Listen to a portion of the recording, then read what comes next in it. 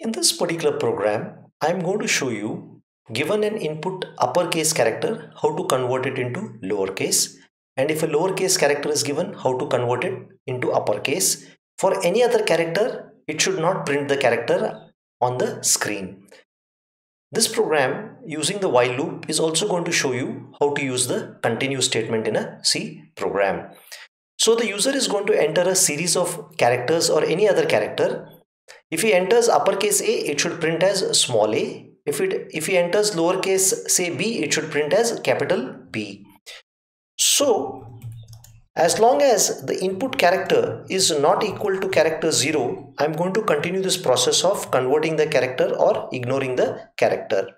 So if the input character is capital A and between capital Z, what I'm going to do here is I am going to add 32 to it because the difference between an uppercase character and a lowercase character equivalent character happens to be 32 so suppose the input character is a the ascii value of a is 65 65 plus 32 happens to be 97 which is the ascii value of small a.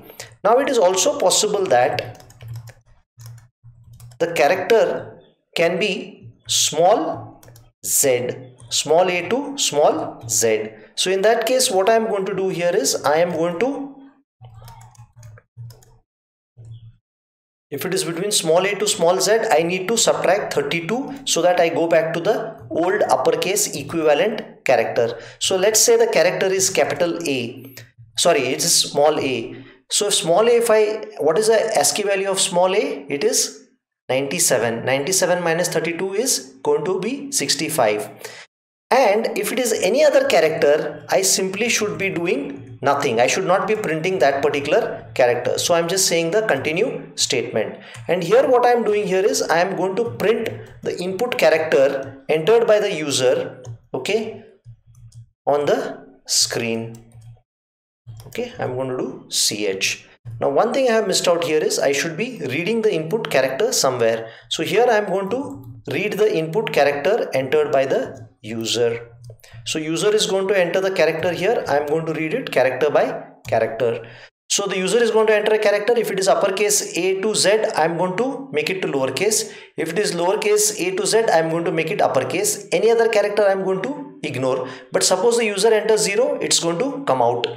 So let's try to take a look at this particular program by entering certain sample data. Let's see if it compiles first and we have not made any syntax errors. Okay, here it is syntax error. So it should not i should not be giving a space between here and here. Then there is line number 10 there is one more error. Percentage c address of ch i forgotten to give the address.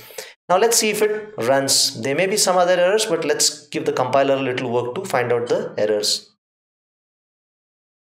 so it seems to have one more error at line number 11 so its character again for some reason i've given a space between these two characters which is which the compiler does not like.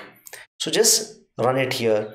So what i'm going to do is I'm, it's asking me to enter a series of characters and zero to quit. So what i'll do is i'll enter the name arjun okay? Just see how arjun is converted. A r j u and n. And after arjun what i'll do is i'll enter the numbers 1 2 and 3 okay? 1 2 3 nothing should be printed. And after 1 2 3 let me enter 0 so the output if this program is right is it should print a in lowercase r in uppercase j in lowercase u in uppercase and n in lowercase. And 1 2 3 it should not print.